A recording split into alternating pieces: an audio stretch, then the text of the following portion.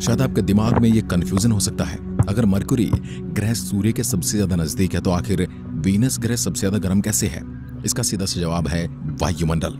जैसे कि मैंने आपको पहले ही बताया था कि मरकुरी के पास अपना वायुमंडल नहीं है। जिस वजह से सूर्य से निकलने वाली गर्मी उसके वातावरण में कैद नहीं हो पाती। वही शुक्र ग्रह का वायुमंडल बहुत ही ज़्यादा घना है और यह सूर्य की सारी गर्मी को अपने अंदर बाँध के रखता है।